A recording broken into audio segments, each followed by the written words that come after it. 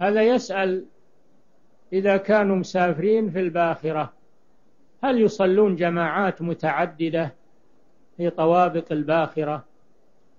نقول إذا أمكن إذا أمكن أن تجتمعوا جميعا فهذا واجب ولا يجوز التفرق. أما إذا لم يمكن فتصلون على حسب استطاعتكم.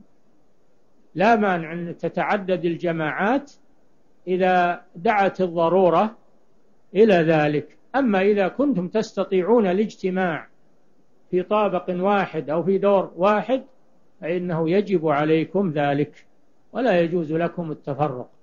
نعم.